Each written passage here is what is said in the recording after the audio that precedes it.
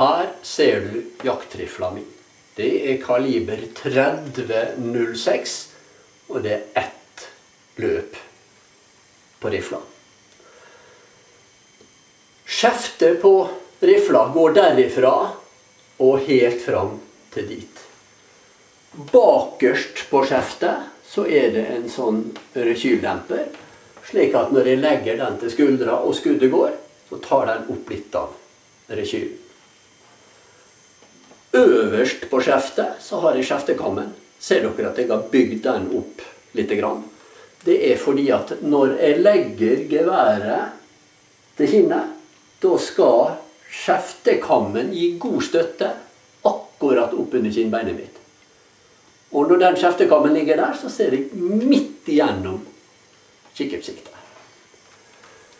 Her fremme har vi skjeftehalsen, og her er det et pistolgrep.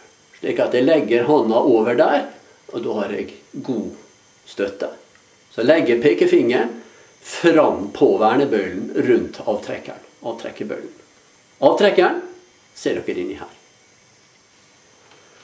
Låskassa den går herifra og fram til dit. Foran der igjen så har vi løpet. Her har vi sluttstykket. Det er håndtaket på sluttstykket. Slik at hvis jeg skal åpne geværet, så tar jeg sluttstykket opp, og så drar jeg det tilbake. Da kan jeg ta en patron, nå bruker jeg en klikkpatron, putter nedi magasinet her, og så trykker jeg den ned. Så drar jeg sluttstykket frem, og tar det ned. Nå har jeg patron fremme i kammeret her. Nå er geværet usikra. Og her på sida så har jeg sikringa, og jeg har en trepunktssikring. Så nå drar jeg den sikringa tilbake. Og det vil si at da kan jeg ikke få skuddet til å gå av og dra i avtrekkeren. Men da er også sluttstykket låst, så jeg får ikke opp sluttstykket. Her er det en trepunktsikring, slik at hvis jeg tar sikringa ett hakk frem, så kan jeg åpne sluttstykket og tømme ut patronene. Men jeg kan fremdeles ikke trykke av, fordi at i mellomstillinga på, sikri, på, på sik, sikringa så er avtrykkeren fremdeles låst. Altså jeg kan ha sikra gevær. Jeg kan putte patronen inni. Jeg kan lade geværet, og likevel så unngår jeg at det går av et vådeskudd.